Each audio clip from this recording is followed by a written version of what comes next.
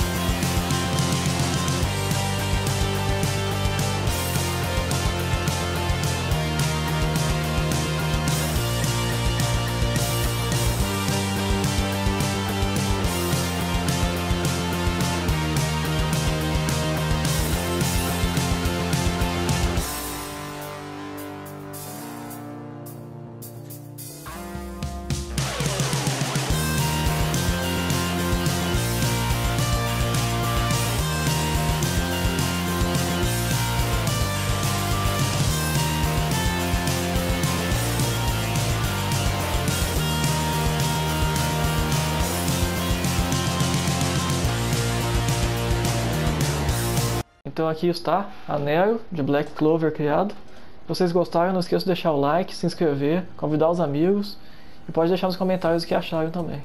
Valeu!